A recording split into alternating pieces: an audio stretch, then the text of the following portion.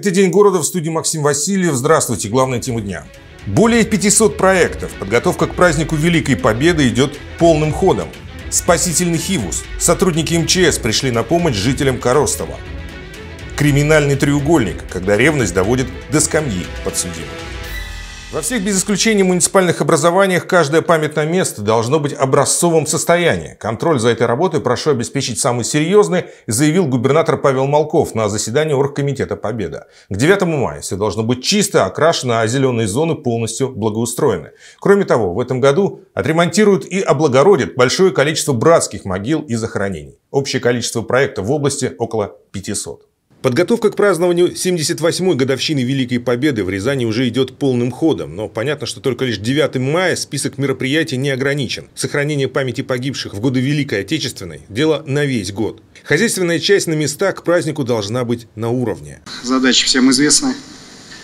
Это и приведение в порядок всех мемориалов, захоронений, других памятных мест во всех, без исключения – муниципальных образованиях. То есть каждое памятное место должно быть в идеальном, в образцовом состоянии. В этом году никаких кардинальных изменений в графике празднований не предусмотрено. Основной план включает в себя 70 мероприятий регионального масштаба, а вместе с муниципальными акциями их более 500. В этом же году будет издан 13-й том книги памяти «Солдаты Победы 1941-1945 годы». В нем увековечат имена солдат из Шацкого района. В области облагородят 5 воинских захоронений. А особое отношение ко всем участникам Великой Отечественной. Самое пристальное, самое главное внимание должно быть уделено ветеранам, каждому участнику Великой Отечественной войны. Поддержка должна быть буквально во всем, начиная от решения каких-то бытовых вопросов, доставки продуктов, например, до вопросов юридической помощи, например. Каждый ветеран должен быть окружен заботой и вниманием. Память о Великой Отечественной сегодня тесно перекликается с современной специальной военной операцией. Ряд проектов так или иначе в этом году будут связаны с героями СВО. На Богородском кладбище возведут аллею памяти, установят две скульптуры ангелов, облагородят территорию. Общественники уже начали благотворительный сбор. Павел Малков идею создания аллеи памяти поддержал. Единственное, что попросил – ускорить возможность отправки средств от благотворителей через специальный QR-код. Не совсем обычную спецоперацию провели рязанские спасатели. Из села Коростово, по-прежнему отрезанного водой от большой земли, они эвакуировали женщину, используя хивус, катер на воздушной подушке.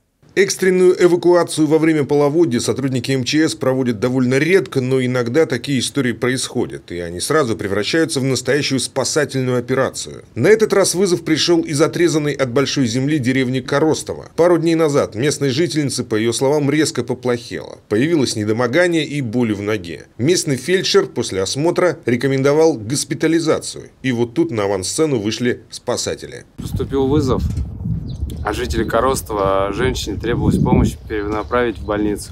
Коростова отрезано у нас сейчас водой, в данный момент разлив. Вот. На катере, на СВП, катер воздушной подушки Хилос-10, мы отправились с помощью спасателей ПСС на воде. Доставили женщину до машины скорой помощи для оказания дальнейшей медицинской помощи. Все в итоге закончилось хорошо. Женщину доставили в больницу. Кстати, за все время разлива это всего лишь второй такой случай экстренной эвакуации. 26 марта на плавающем транспортере из Заокского в больницу переправили женщину с травмой ноги. На сегодняшний день в Рязанском районе продолжают дежурить два транспортера.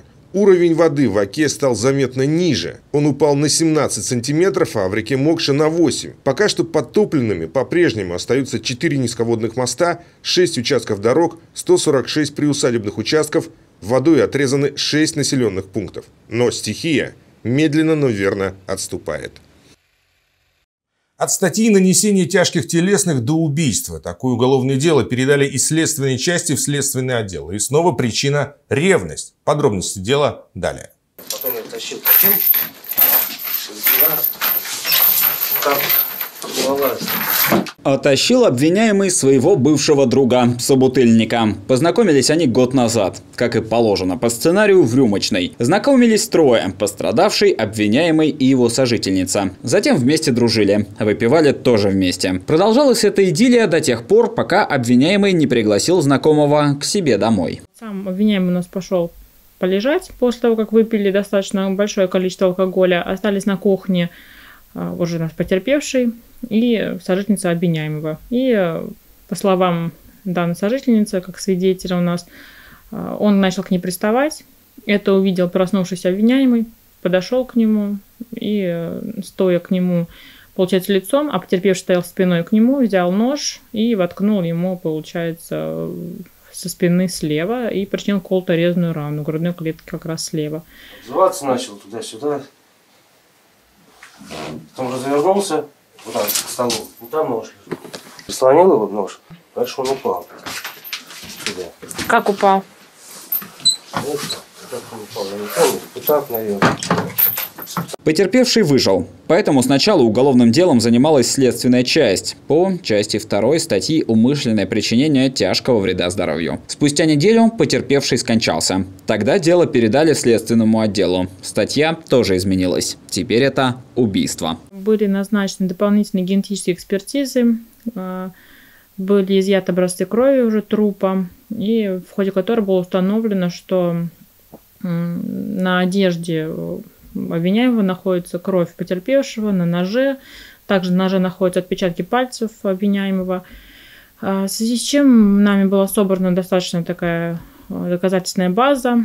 Сейчас уголовное дело направлено в суд для рассмотрения по существу. Максимальный срок до 15 лет лишения свободы. Что примечательно, сожительница обвиняемого его так и не навестила. Однако бывшая супруга вместе с детьми приехала к нему из самого Тамбова. Осужденные даже за тяжкие преступления могут получить право на смягчение режима, если осужденный за преступление небольшой или средней тяжести уже отбыл не менее четверти наказания, то лишение свободы можно заменить принудительными работами. При рассмотрении ходатайства в суде обращают внимание на характеристику осужденного. Свою историю любви Алексей и Елена называют сказочной. Познакомились по счастливой случайности в магазине. Алексей влюбился с первого взгляда. Взял у Елены номер телефона, начали встречаться. Свой секрет Алексей долго скрывать не стал. Чуть ли не на первом свидании признался, что в данный момент отбывает наказание по 228 статье. Каждый может ну, ош- ошибиться, оступиться, вот, но не каждый может э, вернуться обратно к нормальной жизни. Вот. Ну, я стремлюсь к нормальной жизни. Вот, у меня семья, как сами видите. И то есть, ну, никаких мыслей, побуждений к старым делам возвращаться вообще, ну, как бы нету. То есть, ну, все, у меня растет ребенок, и, понимаете, ну, я не вижу смысла в старой жизни вообще. Все, теперь жизнь новая, и все. Я могу с ним видеться по выходным. То есть, э, как бы я могу с ним созваниваться. Да, ну это очень вообще, это очень здорово, что он может видеть с ребенком. Алексей Михеев отбывает наказание в исправительном центре. Условия содержания тут другие, по сути, как в общежитии. Есть своя библиотека, столовая, прачечная, спортплощадка, в общем, практически никаких отличий. При должных поощрениях можно и за территорию выходить. Главное вернуться вовремя и трезвым. Осужденный имеет право обратиться в суд с ходатайством о замене необычной части наказания более мягким видом наказания э, в виде принудительных работ, то есть с последующим отбыванием наказания в исправительном центре. Для этого осужденный должен положительно характеризоваться, иметь э, поощрение, не иметь изысканий, добросовестно относиться к обучению в стенах исправительного учреждения. В прошлом году поступило 400 ходатайств о переводе осужденных в исправительные центры. Удовлетворено было 40%. В том числе и ходатайство Бориса Забегайла. В колонии строгого режима он зарекомендовал себя с положительной стороны. Трудится он в цехе по производству пластиковых окон. Да и строительная сфера ему близка. Сам в 18 лет построил дом. Хотелось бы быть с семьей поближе, чтобы общаться, чаще видеться. Это самое главное. И стимул тоже как бы работать. По статистике в СИН сейчас больше осужденных склоняются к переводу в исправительные центры. Отбор, конечно, строгий. Однако между общением с родственниками, будущим трудоустройством, работой или колонией строгого режима выбор для многих очевиден. осужденных к принудительным работам, которые поступают к нам в учреждение, в исправительном центре, а, получается что? А, Они у нас без изоляции от общества, они у нас все практически трудоустроены, А, получают специальность, которую обеспечивает э, им э, гарантированное трудоустройство. Через год Алексей Михеев имеет право подать заявление на условно-досрочное освобождение. Сам он из Ростовской области. Но теперь планирует остаться в Рязани. Здесь жена и ребенок. Возможность остаться на работе по своей профессии. В общем, вернуться к обычной жизни. Спонсором ежедневной информационной программы «День города» является выставка продажи икра и рыба камчатская. Вкусные и свежие морепродукты к вашему столу. И все это можно приобрести у торгового центра «Премьер». Более 10 тысяч человек стали участниками регионального отделения движения первых в Рязанской области. Промежуточные итоги деятельности движения подвели на первой конференции «Поехали». Участниками мероприятия стали школьники, студенты, их педагоги и наставники, представляющие первичные отделения.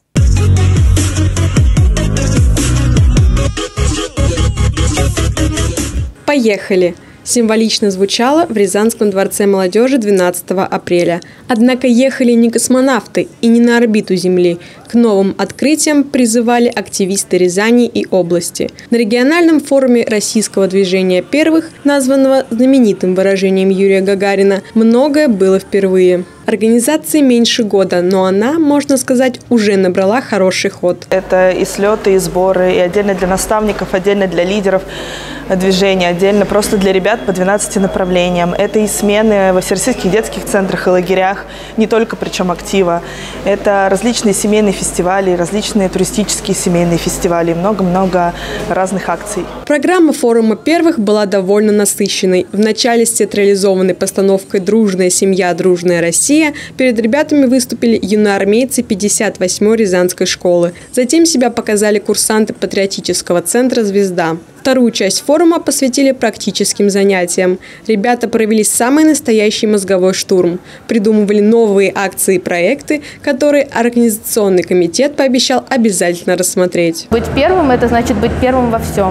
А, это значит, э, э, первым быть нетрудно, но Э, не быть – это труднее. Быть первым – это значит э, всегда смотреть э, участвовать во всем. Быть первым для меня значит uh, уметь вести за собой людей, быть профессионалом в чем-то своем, в своем деле и отличаться от других, это главное. Сегодня в Рязанской области создано 268 первичных отделений движения. Они уже объединяют порядка 10 тысяч человек. В ближайшее время активисты движения присоединятся к проектам «Мы, граждане России», «Хранители истории», «Волонтерство и добровольчество». Сюжет подготовлен по материалам городского школьного телевидения Марс ТВ.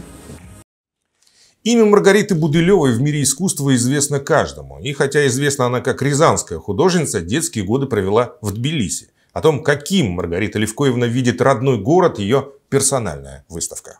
Жила-была в одном городе художница, и очень она любила свой родной город, да так, что его улочки и жителей переносила на полотна и создавала картины. Художницу эту зовут Маргарита Будылева, а тот самый город называется Тбилиси. Впечатление, которое рождается от таких живописных прогулок по улочкам детства художницы, сродни сказочному погружению в атмосферу. На этих улицах старинные дома помнят не одно поколение своих обитателей. Там неспешно текут мирные разговоры, хозяйки сушат белье жилье, заботясь о чистоте и уюте в доме, а цветущие глицинии весной и золото осенних листьев напоминают, что всему в этом мире свое время. И счастлив тот, кому не о чем сожалеть на склоне лет. И так из века в век. Дома выглядят так, как в Рязани еще даже не знают, что так дома могут выглядеть. Вот, допустим, веранды в восточном стиле. Э, такие какие-то старые вещи – старые балконы, веранды. Это все очень характерно для Тбилиси для старых его районов. Я любила писать этот город, потому что мне хотелось сохранить его своеобразие, многообразие культур, ведь Тбилиси – город многонациональный, говорит художница. В Рязань она переехала в 1994 и работы, посвященные городу детства и юности, стали появляться уже по воспоминаниям, по привезенным с собой наброскам. Я там родилась, там родился мой отец, который в 20-е годы еще Помнил, караваны туда заходили. Так что этот город очень такой на перекрестке между Западом и Востоком. Особое удовольствие рассматривать картины Маргариты Левкоевны и подмечать детали. Тонко выписанные оконные решетки, кованые ограды, разные формы, оконные арки. А еще наслаждаться фактурой, пусть даже неосознанно. В выставку вошли работы, написанные пастелью, акварелью, маслом. Некоторые художница дополнила кусочками ткани, добавив объемности. За счет этого город становится почти осязаемым. Тбилиси рисовался в XIX веке, как только вот туда пришли русские, очень много. Это и Григорий Григорьевич Гагарин, замечательные наброски нам оставил. Его считали дилетантом, а так смотришь на его вещи, удивляешься, насколько они мастерски сделаны. Это влияние грузинских художников, а также, может быть, э, большой э, любви тбилисцев к тени, потому что солнце там очень яркое, и э, желательно, чтобы его было поменьше. Это Маргарита Левкоевна говорит о колористике своих работ на тему Тбилиси. Приглушенные темные оттенки – дань грузинской традиции, где очень любят черный цвет. Так сложилось исторически. Кстати, работы, посвященные древней грузинской столице и ее жителям, по сей день появляются в мастерской художницы. На этом у нас все еще больше новостей на нашем сайте www.город62.tv и на наших страничках в соцсетях. Всего доброго. Встречай Пасху с дальневосточными деликатесами. Свежий улов прямо с Камчатки. Чавыча, красная икра, белорыбица. С 10 по 16 апреля. ТЦ «Премьер».